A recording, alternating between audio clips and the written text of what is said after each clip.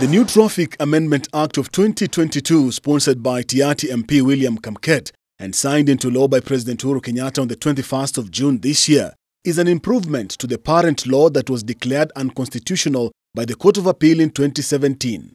In the 2017 decision that came as freedom to most Kenyans, the three judge bench of Justices G.B.M. Kariuki, Fatuma Sichale, and Festus Azangalala maintained that the law then was badly drafted and therefore ought to be reviewed by Parliament.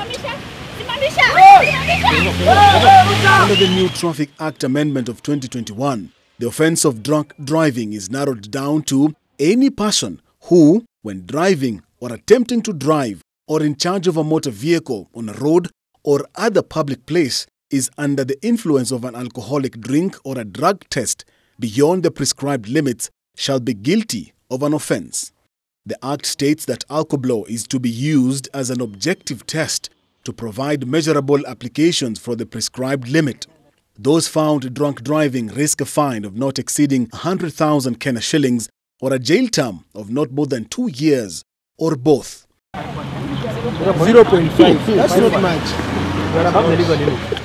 Alcoblow tests will be conducted by National Transport and Safety Authority and Traffic Police.